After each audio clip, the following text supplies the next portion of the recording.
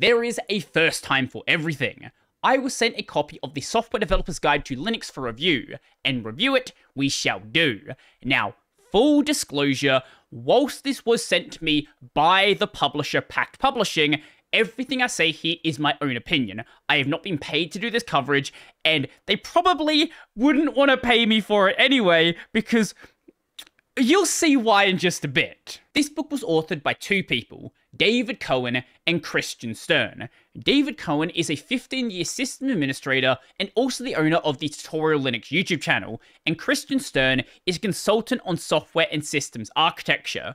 Now, the book itself is broken down into 17 chapters, covering topics like what is a process, how to interact with processes, listing out processes, things of that nature. What the command line is, how to interact with the command line, common tools you'll be using on the command line, pipes, and other things that you probably should be knowing. How to edit files from the command line, common tools you might want to be using, and system management of users and groups, alongside basic stuff on how to interact with systemd. It aims to basically give you a how would I say it, like a head start into using Linux, but skipping a lot of those I guess, historical details and details that don't really matter. It assumes that you are a software developer and you've been given this Linux system that you need to write code for. You are using this as a development environment. You don't care about all that stuff in the background, but you do need to know how to actually use it. And not just use it, but use it in an effective way that takes advantage of the fact that you are using a Unix like system pipes and shell scripting and bash and all of these incredible things, not focusing on the specific desktop environment that you might find yourself in, but focusing on those things that every system is going to have. Generally, each chapter starts with a fairly quick introduction to the topic, just in case the reader has absolutely no idea what's going on, and then very quickly gets into the things that you're actually reading this for, like how to use this tooling, the tooling you're going to be using, all of that sort of stuff, with a lot of the chapters ending in a real world problem. Like, this is a way that you can use this tooling to solve this particular issue.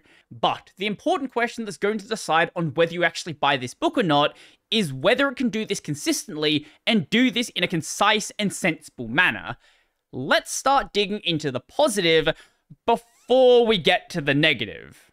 For anyone new who may just be coming across this channel for the first time, I've been daily driving Arch Linux for about five years now, and I've been running this channel for about as long as well.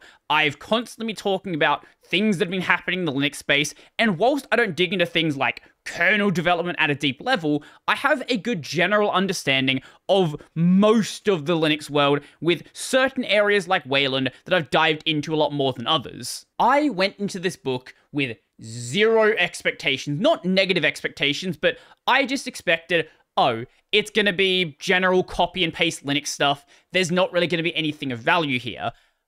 But I was pleasantly surprised that I actually did learn some new things. For example, most of you probably know about the which command. This is used to tell you the path of an application.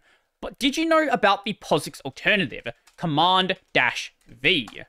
This does pretty much the exact same thing. In some cases, the formatting is a little bit different. For example, if we do Command-V on an alias like my ls alias, it's going to look a little bit different than doing it over here. But it achieves the same goal. Or how about NetHogs? This is an application that indicates which processors are used in the internet and how much bandwidth they're actually using there was also a really good explanation of the numbers used in Chmod, and how if you take the number for read and the number for write, and then add those numbers together, you actually get the number for read-write. If you take the number for read and the number for execute, add those together, now you get read and execute. The numbering is perfectly ordered. On page 110, it suggested using the slash temp directory, which is frequently cleaned out by the system, for throwaway builds. So if you want to just compile some code, no need to worry about just deleting it yourself. Just do it from the temp directory and the system will just delete it for you. And also a command that I've never used before, the logger command, which is a command that lets you just write things into your system log. I don't know when I would use this, but it is nice to know about.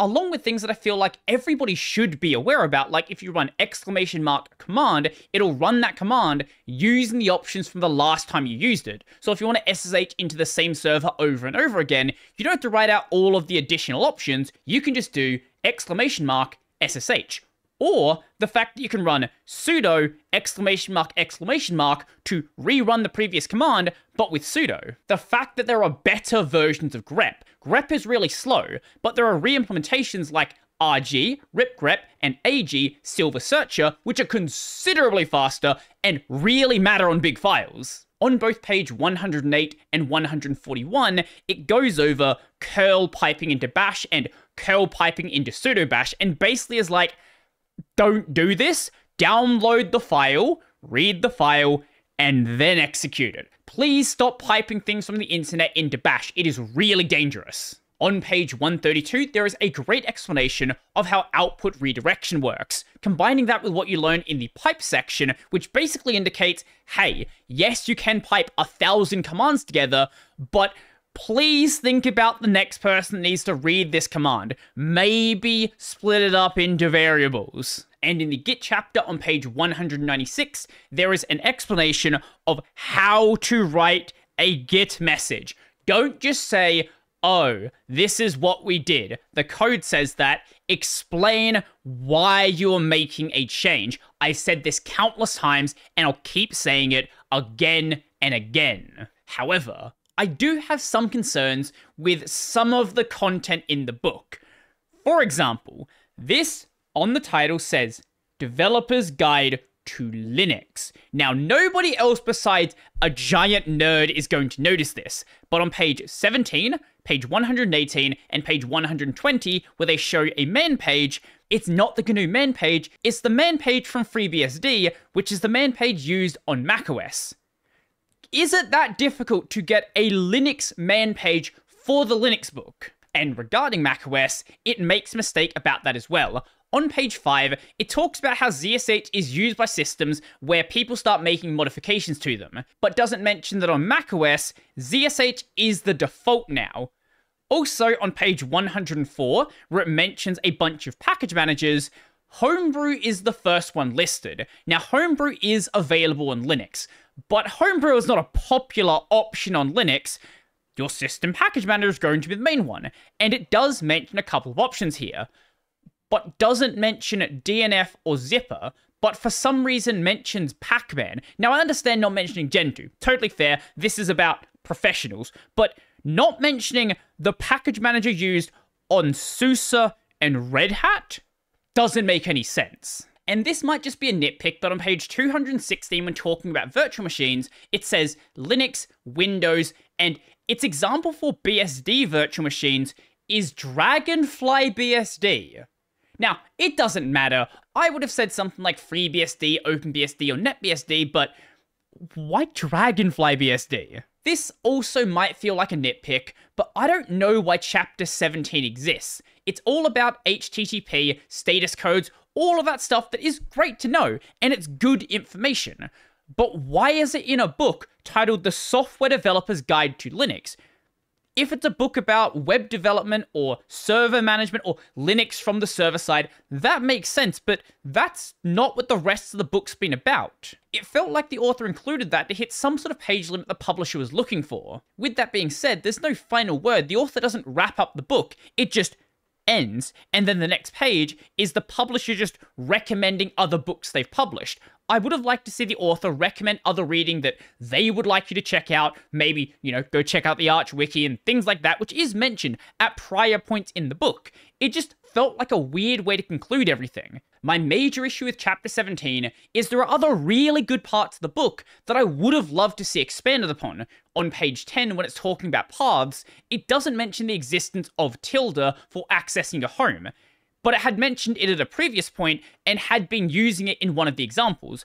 On page 39, it talks about systemd services, but doesn't talk about user services. There is no mention of user services throughout the entire book.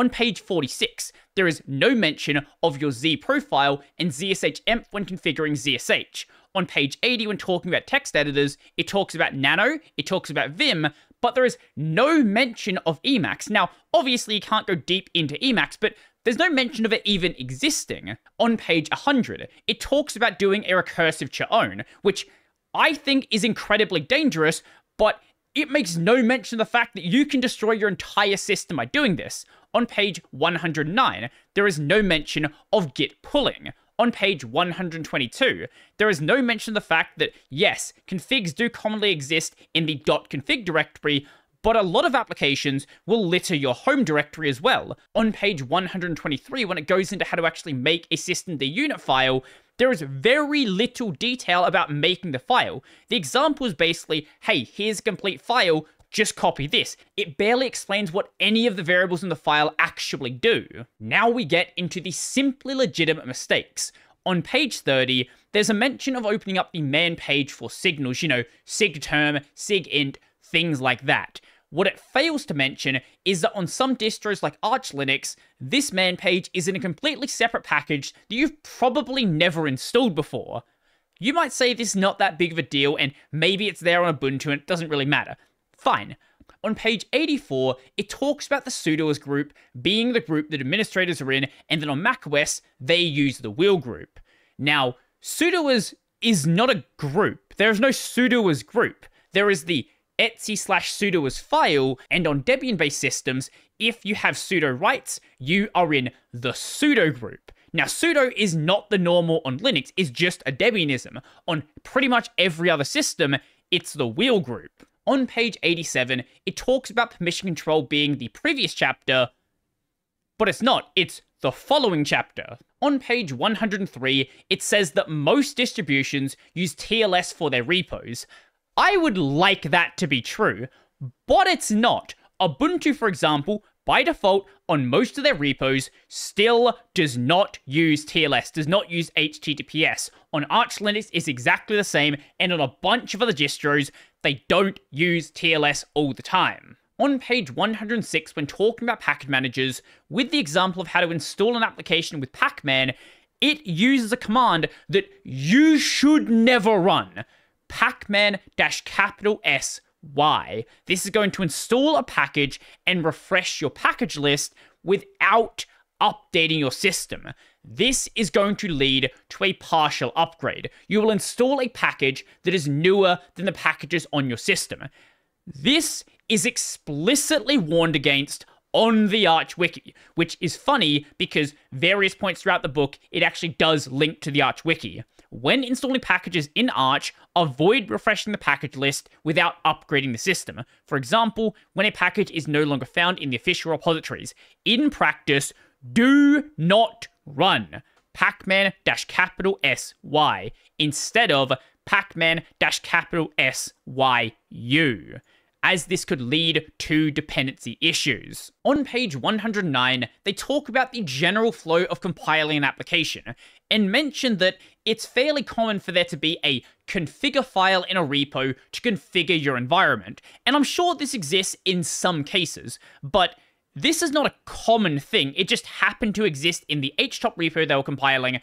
I have personally never seen it myself. On page 155, it talks about how slash bin slash sh is commonly not linked to bash, it's often linked to a more minimal shell. This is true in a sense, there are a lot of distros that use dash instead. However, a lot of other distros, especially if you go a couple years back, instead use bash in its POSIX mode. On page 154, when talking about shebangs and script files, it says possibly one of the dumbest things I have ever seen written down. The operating system, often called the kernel in Linux. No. No, it's not often called the kernel. The kernel is the kernel. The kernel plus all of this user space tooling, that is the operating system. On page 192, when talking about Git and talking about pull requests, it says there is no native Git word for a pull request. You have different platforms like GitHub that use pull requests and GitLab that use merge request. This, that part, true. The fact that there is no native Git word for a pull request is completely false. Torvalds has had giant arguments with GitHub because they didn't implement the native Git pull requests. That is a big part of the reason why he doesn't like GitHub. If you don't believe that these exist, here are the Git docs for them.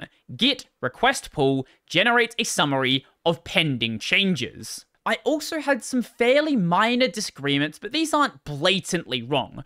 On page 76 and 77, it talks about using Vim and how to learn Vim. It says don't use your arrow keys, don't use your mouse, don't use GVim, and be very careful about using plugins. And I understand what it's getting at here, but I think it's very dependent on what you're trying to get out of Vim. Are you trying to be the Primeagen and know a thousand different ways of using Vim, or do you like the general core concepts of Vim and then want to build up from there whilst you have a working development environment. I don't know which is the correct way to do it. I know that going the Primeagen's route of just diving headfirst is going to get you a lot more knowledge, but you might not end up needing that knowledge in the first place, so it really depends. On page 103, it talks about installing applications with a package manager and says these install things as one neat little bundle, and says this should be familiar if you've used EXEs on Windows or DMGs on macOS.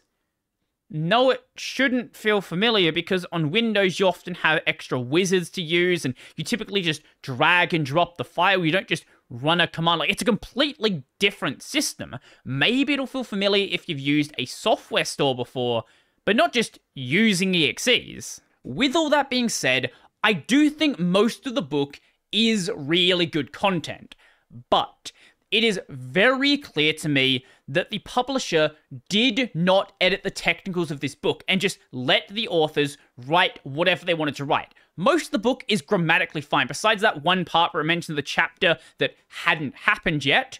That's the only part where the publisher absolutely should have picked it up.